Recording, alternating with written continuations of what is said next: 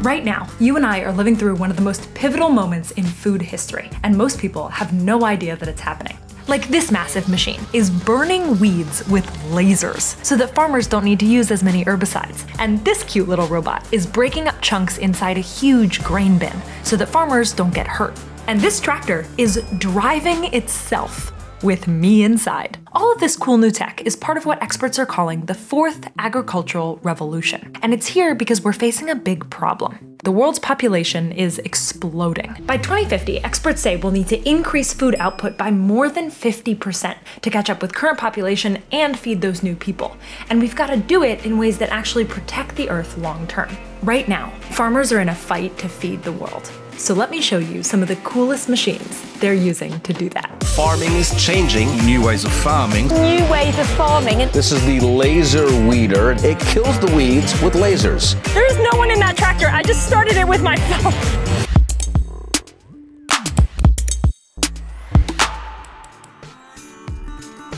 We need a lot more food, fast. 12,000 years ago, all of the humans alive were about half the population of New York City today.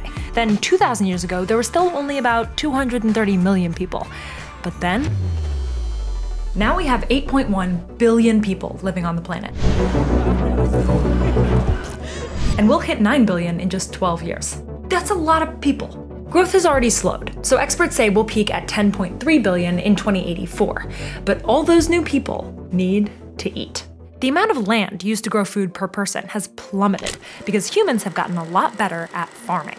And a big part of that is thanks to the tools they use to do it. And I'm on my way to see some of them up close. This is a waiver that says, I assume full responsibility for any risk of bodily injury, death, or property damage. I'm signing my life away because they're gonna let me drive all of these. I'm headed to a secret test farm where some of the coolest new farm equipment gets put to use for the very first time.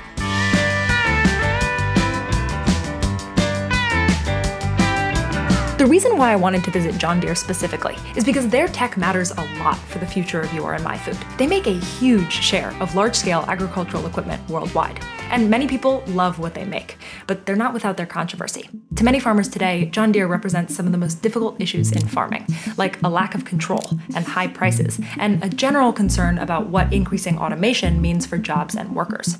So, this company really embodies our story. This is exciting tech that might help feed the world, and also comes with a lot of challenges that aren't likely to go away as we rely more on technology for the food we need. This is what makes this story so important, and why getting this right is so huge if true. Growing food didn't always look so high tech.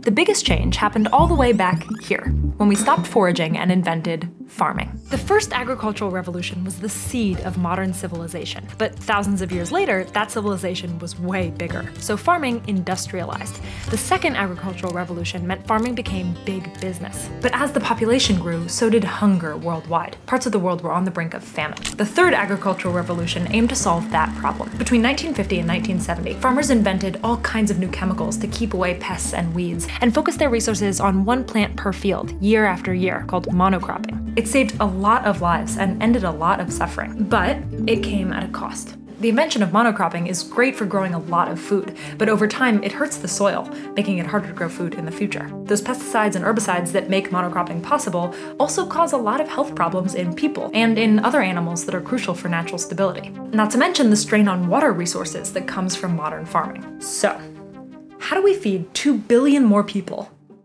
and solve the problems that our previous solution caused? Experts say the answer is in five steps. Step 1 Freeze how much land we use. For basically all of human history, when we needed more food, one answer was cut down trees, make more farms. To grow crops for humans to eat, we've already cleared an area the size of South America. We can't do that anymore. Nearly all the new food for those 2 billion new people will need to come from the land we've got. So, step 2 Grow more on that land. But how exactly? One controversial option is to farm like we're farming now, but faster, which means robots.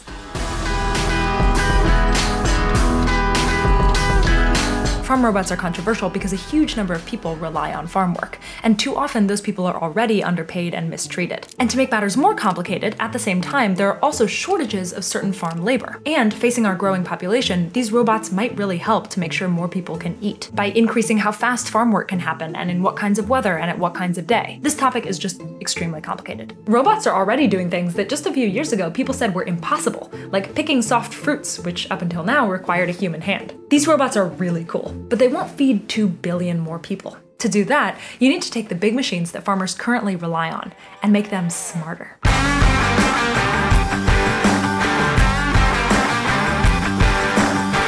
All these mega machines help grow your food. The process starts by tilling the soil to break it all up, then planting the seeds the perfect depth and distance apart, with some machines able to plant up to 720 seeds per second, then nurturing those little baby plants by spraying them with water and nutrients and pesticides, and finally, ruthlessly cutting them down so that you can eat them. The first two contraptions are pulled by a tractor, like this one, but this tractor can drive itself. Do I just press that? Just push that. I just, the, the yellow button. Yep. Ready? The slide. Set. there is no one in that tractor. I just started it with my phone. But hang on, while this tractor is driving itself, let me tell you about how we make our videos. Our Huge If team works in four different cities, so it's tricky to share our huge amounts of footage between us. Plus, we have a lot of videographs. A lot. So, to share it all between us, we use Dropbox. I've been using Dropbox for years for all of my videos, which is why I'm so excited that they're sponsoring this one. It's not just that it's easy to send big files, it's also easy for us to collaborate and leave feedback and share ideas. We can easily share big video files with our team and make sure that the right people have the right access to the right video file at the right time using Dropbox's password permissions. Plus, we can set expiration dates on certain files and disable downloads. With Dropbox Replay, we can share video feedback between ourselves in real time. We can leave each other frame-specific timestamped comments with markups, which is awesome because it saves us a lot of back and forth. And when we're done, we just hit share. And even if someone we're working with doesn't have a Dropbox account, they can still send and receive documents for feedback. It's quick and easy to transfer files to them from anywhere. This footage that I'm shooting right now, it's gonna be uploaded to Dropbox as soon as I leave, and then transcribed and scripted and commented on and edited all before you see it. So thank you, Dropbox. If you wanna try Dropbox for your team, click the link in the description to learn more. Now, back to the story. Okay, time to see what a self-driving tractor looks like from the inside. Cool. Oh, this is wild. It's got a whole plan. I don't need to do anything. I'm just gonna sit here and it has a whole plan of how it's gonna till this field. I'm just gonna channel Ryan Trahan in a Tesla right now. That's the vibe. Sitting in a moving tractor while no one is touching the wheel was wild. It was following the route that we gave it, it was avoiding other vehicles on the farm. It felt so futuristic. It felt like I was a cat sitting on top of a Roomba. You know what I mean? For the farmers in the audience, you might be thinking, yeah, but self-driving tractors have been around for a while. But that tech is getting better and easier to use. In theory, you could have one farmer running a bunch of farm Roombas just on their phone. And they can create these detailed routes to hit every part of a field using precise GPS. You can see that yellow dome on the roof of the cab there. We can position that dome on the top of the roof and the one on the implement to within one inch of where it's actually located. This technology is unlocking what's called precision agriculture, letting AI and ultra precise GPS generate a path around the field. We create a full field path plan of how to most efficiently navigate that field. That means more food because farmers can reduce dead spots, pieces of the field that are missed because of poor route planning, and overlap, areas of the field that get hit twice and overuse resources. Tractors with better self-driving tech let farmers optimize their routes and maximize their output, all while avoiding humans and obstacles using cameras and sensors. These new forms of optimization are great for doing this. But once you've tilled the field, you still need to get the seeds in the ground. This is a high-speed planter. We plant at roughly 10 miles an hour. That's Wow. fast for Yeah. planting. This is where our seed is held. Seeds in here, goes through each of these, down to each row unit. This machine takes a seed from the large container at the top and sucks it through a bunch of different hoses into a seed bowl for planting. This is our seed bowl. And if you were to look at this while it was actually operating, um, you would have a seed everywhere there's a hole. Oh wow. We can actually look at it. Oh, I see, I see. Seeds are taken up one by one into a belt brush, scanned with a sensor, dropped into the ground, and then recorded with a camera and a laser to make sure it's planted just right. That whole process of hoses and vacuums and holders and sensors and cameras is all happening within a fraction of a second across thousands of seeds while barreling across a field at 10 miles an hour. The machine gives farmers extremely precise control, so they can decide how far apart each seed is so the plants don't compete with each other for resources, and how deep they get planted so they know that they'll get enough moisture. If we can get every one of these seeds to turn into a plant and come out of the ground at the same time, it can help us increase the yield of a crop by up to 20%. Wow. The engineering and the science that goes into these machines is just wild. I find this so cool. And it's about to get even crazier because I'm gonna get to drive the biggest and most advanced machine that they have. This is See and Spray, a 120 foot wide, 18 ton beast. This huge machine is part of step three to feed the world. Use resources more wisely. This is the one I'm most excited about. This is nurturing the crops, applying fertilizer, herbicide, pesticide, any number of inputs. This tech is helping reduce herbicide use dramatically, and some versions get rid of it completely. The reason this one is really exciting is because we are able to spot a weed and detect that that's a weed versus a plant. So as the farmer is driving through the field, this machine will cover the rate of about, I would say the average size of an American house every second. So it's looking down at the ground. That's correct. And it's using computer vision to visualize the ground below it. It is processing through NVIDIA GPUs to decide faster than you can blink your eye what is a weed and what is a plant, and then it takes action on that. Until recently, these machines just sprayed the whole field with herbicides. But now, this machine can use cameras right here, connected to computers right here, that use machine learning to create a map of millions of crops on a field, visually identify weeds that don't belong, and then spray them with just a tiny little squirt of herbicide, reducing the amount of chemicals they use on these fields dramatically. And what better way to see this tech in action than to drive it? My inner 12 year old was so happy driving this machine. I obviously wanted to see how fast I could go. I'm gonna floor it. Ready?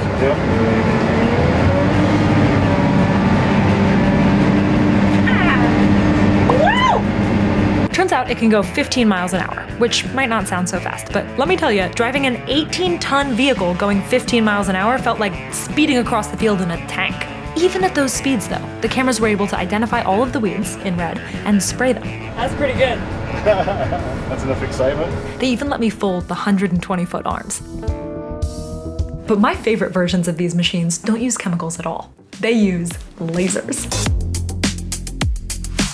A bunch of companies have already made tools that can do this. And then there's the brute force option. You can literally just boop the weeds by using the same kind of visual recognition system and then physical force to destroy them. Precision tech can broadly help us use fewer chemicals, less fertilizer, and also less water to grow the huge volume of food that we're about to need. But I think the coolest thing is what it could do if you play this out a few years. The reason that we do monocropping and use herbicides is that it's the way that farmers figured out how to feed the world. But if you could actually increase yield using a system that knows every plant on the field and what it needs, you could in theory plant many different kinds of plants in the same field, which ironically is an older form of farming called intercropping, which keeps the soil healthy that we could bring back using new tech like machine learning. The truth is, right now, we don't have enough food to feed all of the people that are going to need to eat. This fourth agricultural revolution is trying to change that. And we're going to need technology to help get us there. But along the way, there are big challenges. They're similar in lots of industries right now. As we rely more on technology, how does that change what jobs exist? And for the jobs that do exist, how does it change what they actually look like? For example, farmers say that companies are making it harder to repair and maintain equipment, and they want the freedom to be able to do that themselves. That's called the right to repair. Farmers recently won this from John Deere, and you might have seen similar headlines about cars and phones. As our world gets more high tech, these fights are gonna continue, but we have to figure this out. We have a long way to go to feed 10 billion people total. The final two steps might be particularly hard because they might require us to change. Step four is shifting our diets. Only 55% of the world's crop calories feed people. The rest feed livestock that might feed people, but much less efficiently. And finally, step five is cutting down on how much food we don't eat. Roughly 25% of the world's total food calories are lost or wasted before they're consumed. Together, these steps could help us feed everyone. And not just feed them, but feed them well. Humans are amazing. We found ways to feed the world at a scale that was previously unimaginable. And now we'll continue to improve how we grow what we eat, because the lives of 10 billion people rely on it. This video is part of Huge If True, our optimistic series about science and technology and the futures that we can build together. We make this show because we believe that by imagining these better futures, we make them more likely to come true. If you're into that, the best thing that you can do to support us is to subscribe. See you for the next one.